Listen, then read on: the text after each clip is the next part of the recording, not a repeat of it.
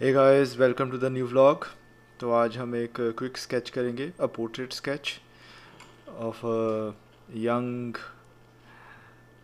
Sikh Nihang baby Nihang Singh Nihang Kaur actually she was a girl जब मैंने उसकी एक रेफरेंस फ़ोटो क्लिक की अनंतपुर साहिब में।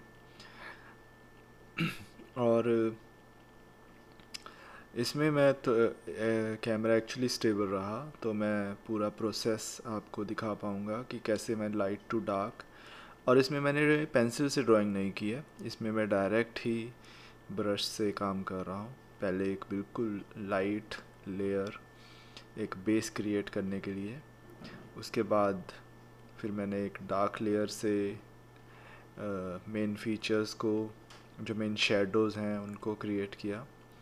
और फिर इन बिटवीन ग्रे ग्रे एरियाज़ तो ये मतलब मर्ज़ी है। इसमें ऐसा भी कर सकता था मैं कि लाइट के बाद ग्रे और फिर डार्क वो भी कर सकता था।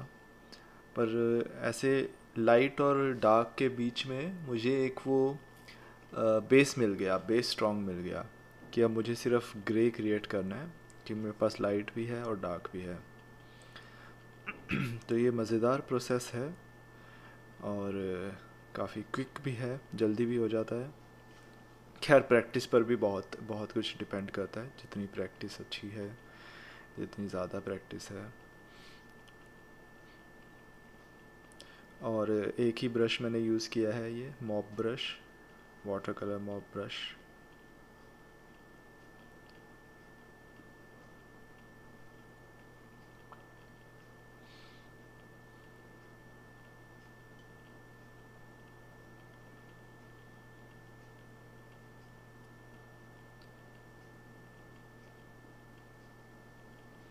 और पगड़ी के एकदम सिर के ऊपर, माथे पर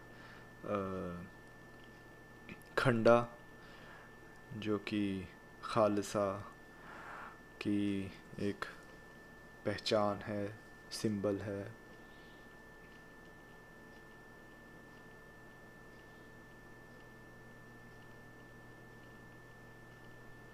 तो ये एक क्विक स्केच था आई होप आपको पसंद आया हो। और आप भी ऐसे क्विक स्केचेस बना सकते हैं, चाहे इंक से या वाटर कलर से।